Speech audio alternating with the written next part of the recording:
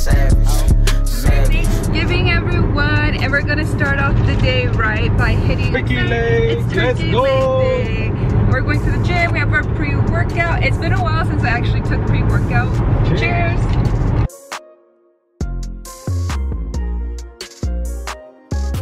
Don't forget to hit the subscribe button and like button with post notifications on. And I want to roll with uploading, like that's just a first and a roll. Like there's gonna be more coming. Don't forget to tell your friends.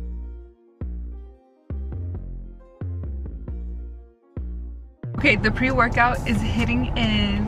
It's I have to kicking in, tell you guys, I am kind of like shaky. I am kind of nervous.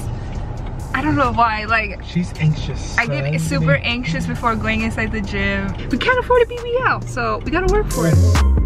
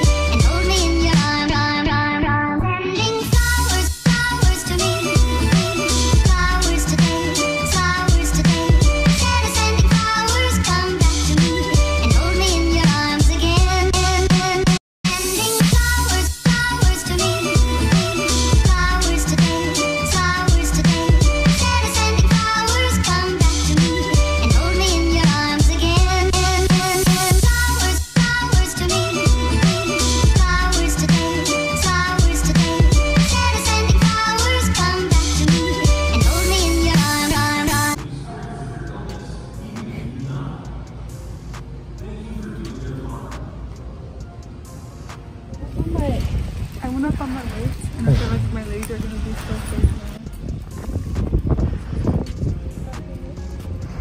Okay. Ooh, check your legs. I went up on my hip thrust. I went 45, 45, 35, 35. It was a struggle with resistance band, but I feel like if you do use fabric resistance band, it not only helps you form, your legs are not shaking so much, so it keeps them in a perfect position where you have control of the barbell and your hips and your glutes.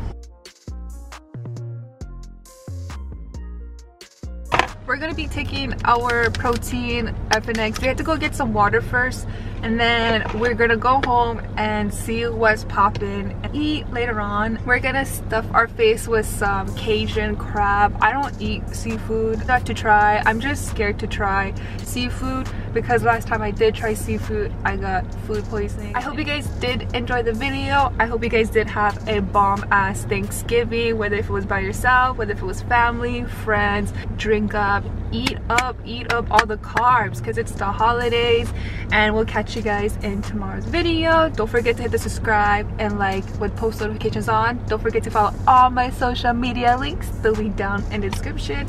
And happy Thanksgiving to everyone.